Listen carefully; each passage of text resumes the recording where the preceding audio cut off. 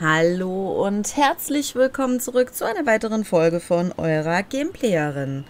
Ja, ich musste zwischendurch noch nicht leveln, denn es geht sofort wieder weiter. Weiter mit der dunklen Bruderschaft.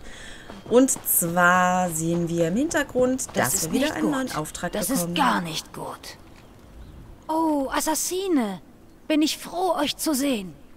Er hat sich eine seiner Ideen in den Kopf gesetzt und jetzt bin ich krank vor Sorge um ihn. Wer krass da? Sagt mir, warum ihr so aufgebracht seid. Es geht um grüne Giftzunge. Seitdem er angefangen hat, in diesem Tagebuch zu stöbern, das ihr mitgebracht habt, hat er dieses seltsame Funkeln in den Augen. Ihr wisst schon welches. Das, was darauf hindeutet, dass er etwas Törichtes plant. Etwas Gefährliches. Ich hätte As Astara und dem Sprecher doch berichten sollen, was er entdeckt hat. Äh, er hätte. Nun, bisher behält er alles, was er herausgefunden hat, für sich. Ich weiß, es ist seine Angelegenheit, aber ich mache mir einfach Sorgen um ihn. Könntet ihr mit ihm sprechen? Er mag es nicht so zeigen, aber er respektiert euch. Vielleicht dürft ihr ihm bei dieser Sache sogar helfen. Ich werde zur Freistadt reisen und mit grüne Giftzunge sprechen. Ja, also geht es wieder zurück dorthin, wo ich gerade hergekommen bin. Das ist, äh, ich habe es nur nie verstanden, warum man dann eigentlich immer wieder Richtung Wegschrein zurücklaufen muss zwischendurch, weil es doch nervig ist. Bis zur Tür wäre zumindest ein bisschen kürzer. Noch besser wäre natürlich, wenn man einfach ähm, ja, an der Stelle, wo man gerade ist, Bescheid bekommt. Wobei das in der Situation wahrscheinlich nicht das Beste gewesen wäre. Weil er wollte ja erstmal das Buch studieren. Aber so viel Zeit hat er dafür jetzt natürlich auch nicht gehabt. Dieses Tagebuch, das ihr geborgen habt, der Inhalt ist äh, ebenso verstörend wie faszinierend. Ihr habt gemeldet, meine alte Schwester Lyra Viria sei der schwarze Drache. Dem Tagebuch zufolge hat der schwarze Drache Lyra jedoch getötet. Ich muss die Wahrheit in dieser Sache herausfinden. Erzählt mir mehr über Lyra Viria. Lyra war die begabteste aus unseren Reihen. Mir wurde gesagt, sie starb während der Säuberung, dass sie an der Seite unserer Brüder und Schwestern gefallen wäre. Dem Tagebuch zufolge starb Lyra durch die Hand des schwarzen Drachen. Doch ihr sagtet, diese würde ebenfalls den Namen Lyra verwenden. Merkwürdig. Was möchtet ihr unternehmen? Am liebsten würde ich dieses Tagebuch zurückgeben und mir einreden, ich hätte es nie gelesen. Aber ich kann Geheimnissen nicht widerstehen.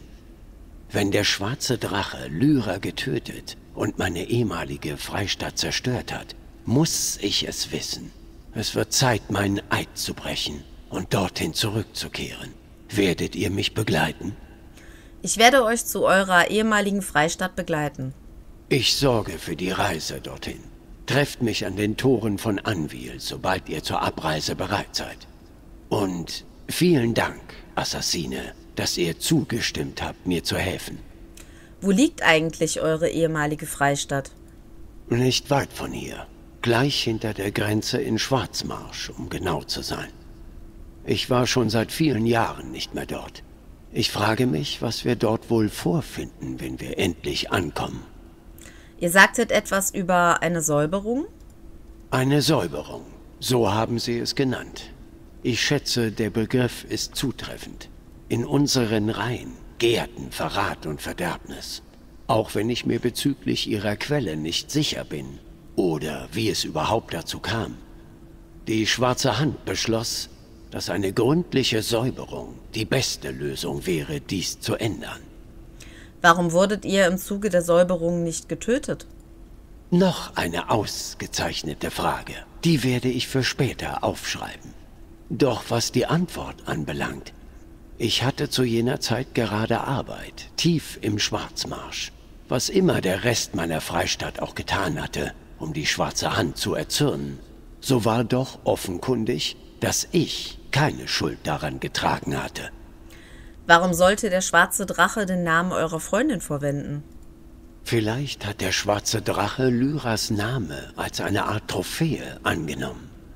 Oder vielleicht hat er es auch nur getan, um uns zu verwirren. Ungeachtet dessen dachte ich, Lyra wäre gemeinsam mit dem Rest meiner Brüder und Schwestern gestorben. Ich glaubte, ich allein wäre verschont geblieben. Glaubt ihr, der schwarze Drache hat eure alte Freistadt zerstört? Ich bin mir nicht sicher, was ich glauben soll. Aber der schwarze Drache legt diesen Verdacht in ihrem Tagebuch jedenfalls nahe. In jedem Fall hätte nur eine Meisterassassine etwas derart weitreichendes wie eine Säuberung vollbringen können. Die Fertigkeiten des schwarzen Drachen weisen sie eindeutig als solche aus. Seid ihr sicher, dass ihr zu eurer alten Freistadt zurückkehren wollt? Ich kann Geheimnisse nicht ausstehen. Wenn ich mich meiner Vergangenheit stellen muss, um Licht in die Gegenwart zu bringen, dann soll das ebenso sein. Immerhin werde ich nicht allein sein. Mit euch an meiner Seite bin ich mir sicher, das Geheimnis der gesäuberten Freistadt ergründen zu können, was immer es auch sein mag. Weiß Astara von unserem Vorhaben? So sehr ich Neugier auch bewundere, können eure Fragen bisweilen etwas irritierend sein. Die Matrone bat mich, das Tagebuch zu untersuchen und ihr Bericht zu erstatten. Meine Nachforschungen erfordern einen Besuch meiner ehemaligen Freistadt. Alles im Rahmen unserer Pflichten, gewissermaßen. Sollten wir sie nicht wissen lassen, wohin wir gehen?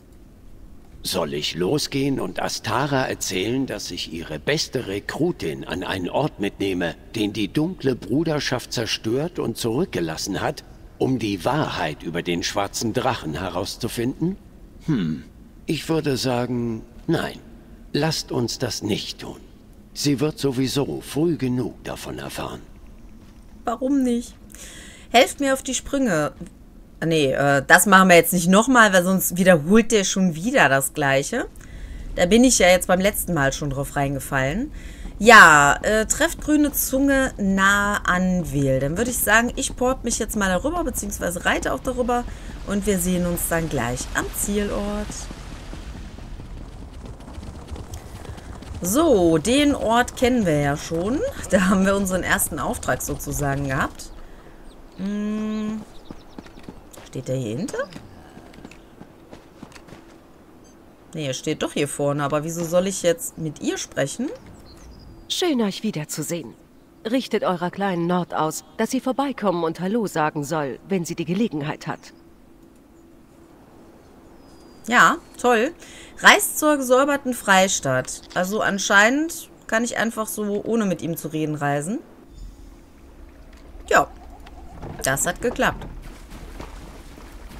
Ich bin schon sehr, sehr lange nicht mehr durch diese Marsch gegangen. Seltsam, aber es fühlt sich nicht wie eine Heimkehr an. Könnte vielleicht an den ganzen wilden Tieren hier liegen, die einen fressen wollen? Ich habe nie viel über die Säuberung in Erfahrung bringen können. Selbst die Zuhörerin wollte nie darüber sprechen.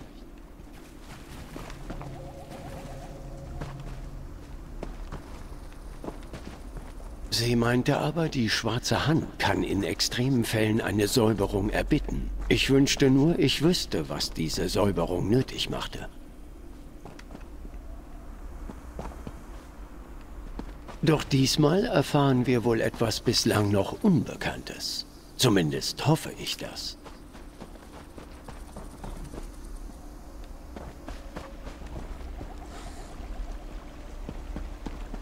Ja, sagt er noch mehr? Scheint nicht so. Dann gehe ich schon mal rein.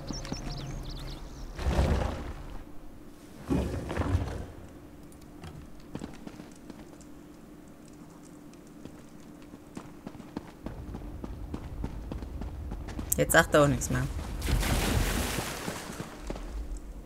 Ah, die schwarze Tür. Nach all den Jahren ist sie immer noch heil. Keine Sorge, ich erinnere mich an die richtige Antwort. Was ist das Geschenk des Todes? Der Trost, mein Bruder. Willkommen zu Hause.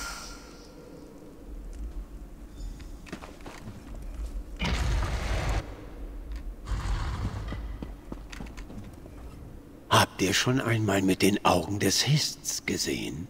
Habt ihr schon einmal hinter die Grenzen der Zeit geschaut? Wir müssen mit mehr als nur unseren Augen sehen, um an diesem Ort die Wahrheit zu enttarnen. Wie machen wir das? Noch eine ausgezeichnete Frage. Nur weiter so, Assassine. Ich glaube fest daran, dass man immer auf alles vorbereitet sein sollte. Deshalb habe ich dieses Harz eingepackt. Wenn man es verbrennt, enthüllen seine Dämpfe Dinge, die unseren schwachen Augen verborgen bleiben. Was soll ich tun? Spürt ihr es nicht? Wir sind hier drin nicht allein. Ihr müsst euch um alles kümmern, was uns aufzuhalten versucht, während ich die Flamme am Lodern halte. Wurde diese Freistadt nicht aufgegeben? Hatte ich das nicht schon erklärt? Lasst mich in meinen Notizen nachsehen. Hm, interessant.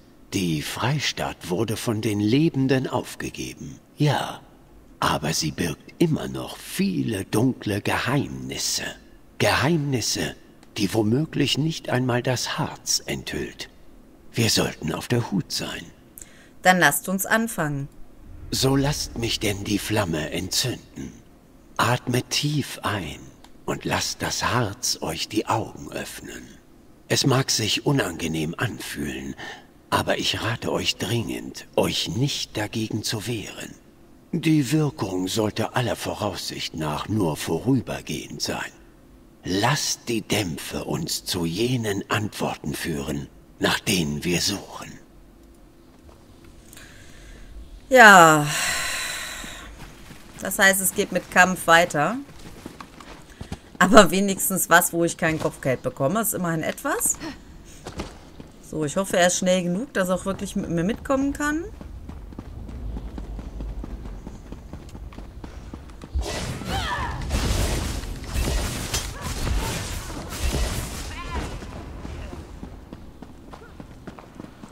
Als die schwarze Hand die Freistadt versiegelte, hatte ich keine Ahnung, dass sie die Toten zurückließen, wo sie gefallen waren. Wollen wir mal sehen, was das Harz enthüllt. Lyra? Stimmt etwas nicht, Schwester? Tut mir leid, dass es so kommen musste, Bruder. Was tut ihr da? Nein, Lyra! Halt! Lyra,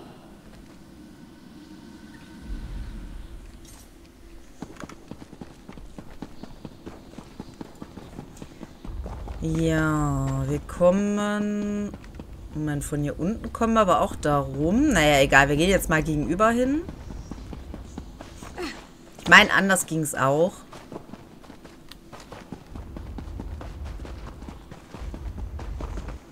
noch mehr sterbliche Überreste. Ein weiterer toter Bruder. Ein weiteres Teil dieses Halt, traurigen Ihr Pusses. kennt mich. Ich würde die Bruderschaft nie verraten. Ich kenne euch, Anneliese, doch meine Befehle sind eindeutig. Bitte, es muss doch einen anderen Weg geben. Wenn das nur wahr wäre. Sterbt, Schwester. Klarheit erblüht im Nebel des Hist, doch eine derart schreckliche Aufgabe übertragen zu bekommen.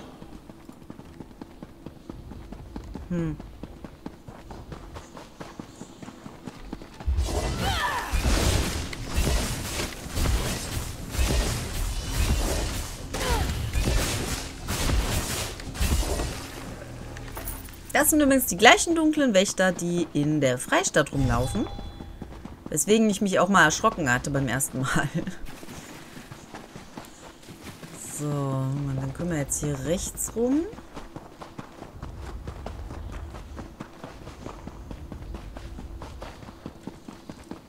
Durch diese Flure zu wandeln, erinnert mich an die Geschichte, die wir den Initianten erzählen, um ihnen Angst einzujagen.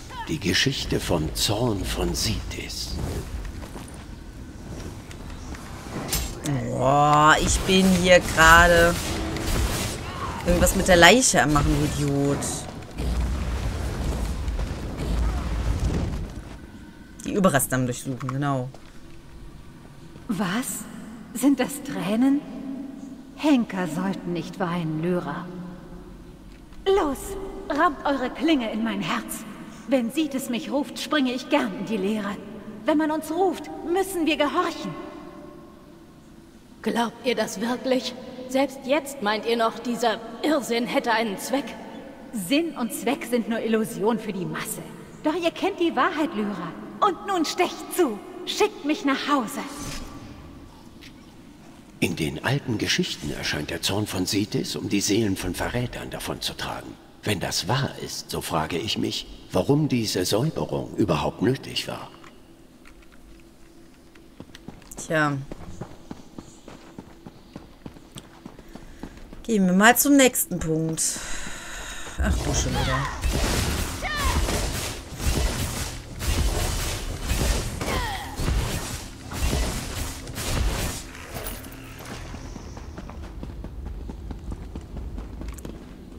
Äh, da müssen wir als letztes hin. Jetzt müssen wir erstmal eins weiter hier rüber. Und natürlich stehen hier wieder Gegner, aber die haben uns so nicht gesehen. Noch weitere sterbliche Überreste. Ich hoffe, es sind die letzten. Das hoffe ich auch.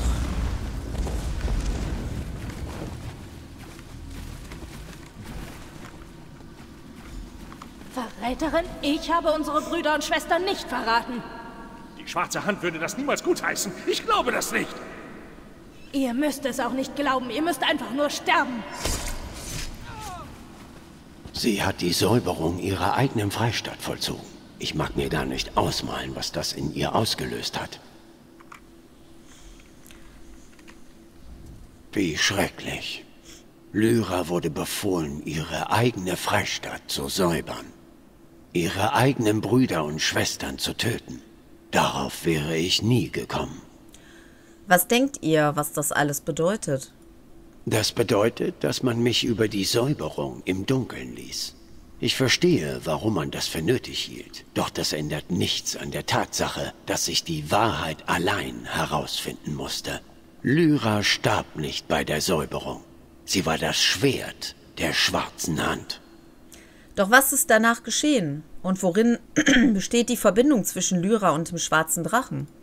Das will sich mir noch immer nicht erschließen. Offenkundig will uns der schwarze Drache glauben machen, dass sie und Lyra ein und dieselbe Person sind. Doch ich kann mir nicht vorstellen, dass Lyra sich je von der Mutter der Nacht und von Sithis abwenden würde. In diesem Mosaik fehlt noch ein Steinchen. Ich weiß es einfach. Wir, fi- äh, wie finden wir diese Steinchen, das im Mosaik noch fehlt? Nachdem Lyra die Säuberung abgeschlossen hatte, ist sie vermutlich zum Schrein von Sithis gegangen, um eine Opfergabe darzubringen und im Gebet für ihren Erfolg zu danken. Das war ihr übliches Ritual. Lasst uns den Schrein besuchen und nachsehen, ob dort noch Bilder von jenem Augenblick verblieben sind. Äh, das war jetzt der in der Mitte, genau. Laufen wir doch mal eben dahin. Kann ich hier... Doch, hier kann ich runter. Schaut, ich hatte recht. Es gibt noch eine Erinnerung zu sehen. Schreckensvater, hörst du mich? Siehst du, wozu sie mich gezwungen haben? War das wirklich dein Wille? Hat die Mutter das wirklich befohlen? Ich tat, was man mir auftrug, doch es fühlt sich falsch an. Bitte, Schreckensvater, sprich zu mir. Wolltest du all diese Tode wirklich? Erlaubt mir, euch zu beruhigen, Kind. Ihr habt genau das getan, was euch befohlen war. Sprecherin, ich wusste nicht, dass ihr noch hier seid. Ein weiteres Sakrament wurde durchgeführt. Ihr müsst in die Stadt Quatsch reisen und Jonas den Primas von Akatosh ausschalten. Aber Sprecherin, meine Familie, ich brauche Zeit, um... Eure Familie? Persönliche Bande sind unter eurer Würde. Erinnert euch daran, wer ihr wirklich seid. Skrupellos, ehrgeizig. Ihr seid meine Schweigende, meine Waffe. Ja, Sprecherin, ich erinnere mich. Ich reise sofort nach Quatsch.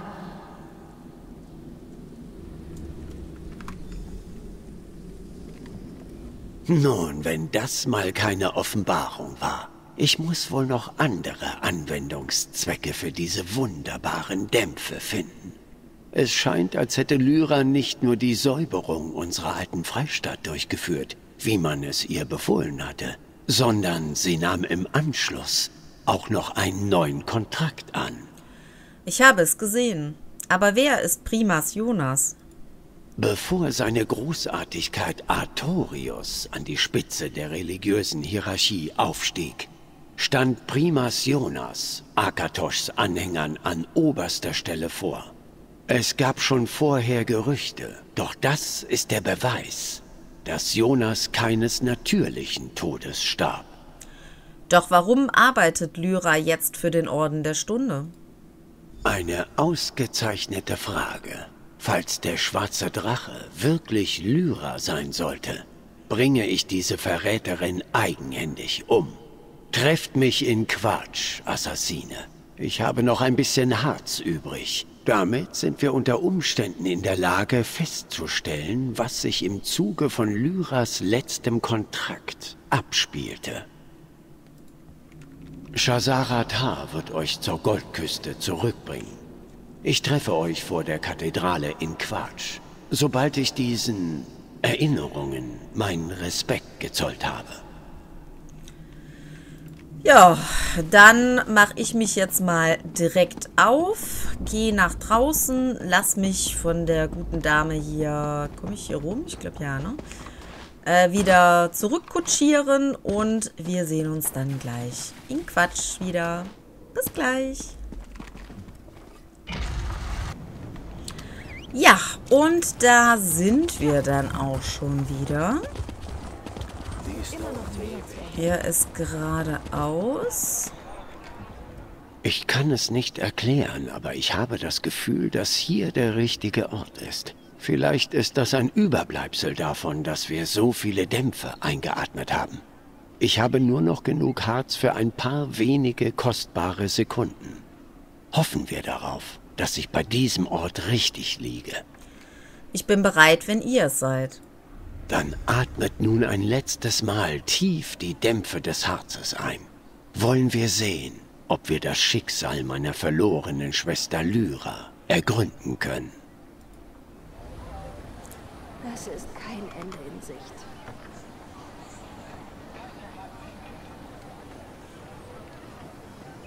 Steck die Waffe weg, Kind. Wir haben viel zu besprechen.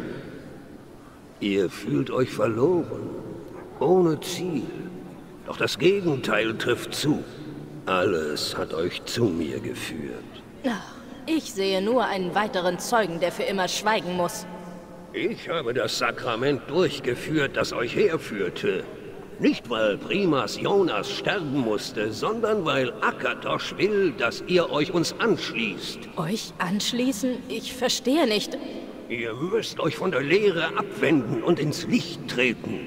Schließt euch mir an und wir wandeln zusammen auf dem Pfad der Erlösung. Erlösung? Ich bin eine Mörderin. Für jemanden wie mich gibt es keine Erlösung. Unsinn, Kind. Akatosh vollbringt ständig weitaus mächtigere Wunder. Wir müssen eure Fähigkeiten nur in den Dienst des Drachengottes stellen. Werdet ein Schwert Akatoshs, mein schwarzer Drache, der die Dunkelheit des Bösen verbrennt. Ich... Ja, jetzt verstehe ich. Ich stelle meine Klinge und mein Leben in den Dienst Akatoshs. Zeigt mir den Weg.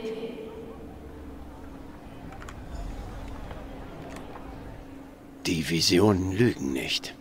Die Dämpfe bestätigen meine schlimmsten Befürchtungen. Lyra hat die dunkle Bruderschaft verlassen und wurde zum schwarzen Drachen. Sie hat uns alle verraten. Ich weiß, ihr hattet gehofft, dass wir uns bezüglich Lyra getäuscht hätten.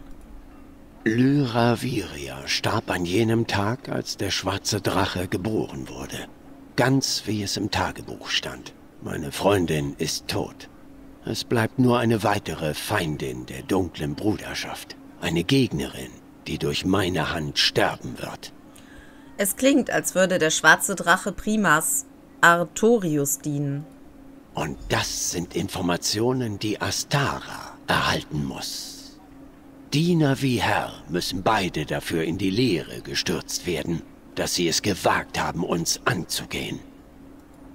Kehren wir zur Freistadt zurück und sagen Astara, was die Dämpfer uns offenbarten. Ich treffe euch dort.